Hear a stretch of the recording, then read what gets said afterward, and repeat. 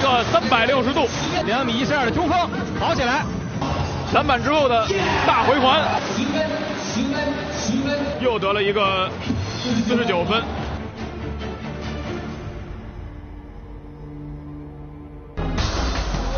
一九九七年开始，CBA 全明星赛设立扣篮大赛，辽宁队的外援詹姆斯独揽了前三届扣篮大赛的冠军。一九九九年，王治郅和姚明曾一起挑战詹姆斯，却仍没能阻止他的三连冠。直到二零零零年的全明星赛，当时确实因为咱们的身体素质，包括什么跟黑人比还有差距吧，我们是希望那个能够把自己最好的一面展现出来吧。当时也确实比较年轻吧，啊，脚啊腿啊伤病没有那么多，还很幸运的是最后好像那个詹姆斯那球没扣进，还是怎么着的，然后就也是侥幸吧，赢了一次。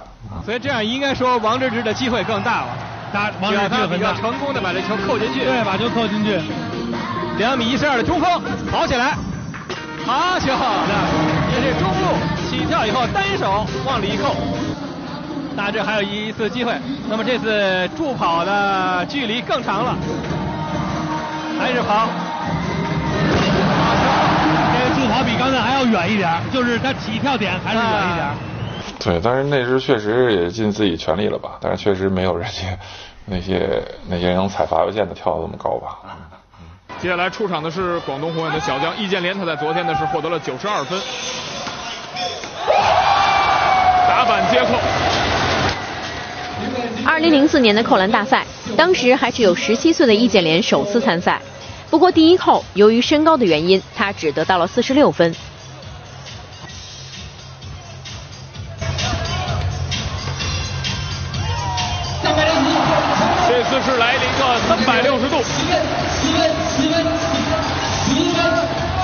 评委给了满分五十分。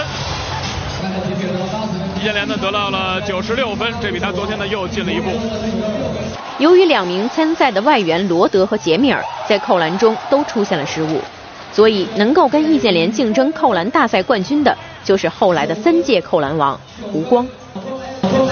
大家现在看到的这是陕西盖天力的胡光，现在我回想啊，在那个年纪肯定是有压力，但是可能斗志更足一点，因为那个时候可能就包括外援在内，我们现在回头看啊，呃，确实也没有说的在这方面有特别突出的呃一个表现的这个这个这个类型吧。在二零零二年文斯卡特到北京进行活动的时候，曾经是力点湖光成为扣篮冠军，因为湖光呢是可以做卡特底线篮板之后的大回环，果然是这个动作，他已经得到了四十九分。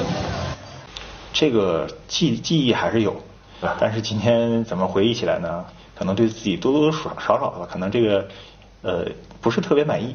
嗯，我记着当时我最后参加决赛的动作啊，是一个在篮板后面的转体踏风车扣篮，然后还有一个是空中接力的反身扣篮。啊，对。嗯，这两个动作在就是在我个人平时训练的时候啊，可能完成度要比当时在比赛的时候，就是做出来那个动作的舒展性啊和完成度要更高一些。所以这个东西就是自己和自己对比。啊。来看胡光这第二次扣篮，背扣，非常的漂亮。十分，十分，十分，十分，九分，又得了一个四十九分，最后的分数是九十八分。在得到自己的第一个扣篮大赛冠军后，胡光一发不可收拾，连续三年蝉联 CBA 全明星扣篮大赛冠军。呃，现在进到内部的上届的冠军来自陕西东胜的盖天力的胡光，对，他平时的特邀选手。现在大家都感觉，下球，这是卡特的 NBA 球。我记得有一个也是参加的决赛的时候，有一个呃背身扣篮，背身拉杆扣篮。呃，现在回想起来，这个动作可能是我相对来说比较满意的。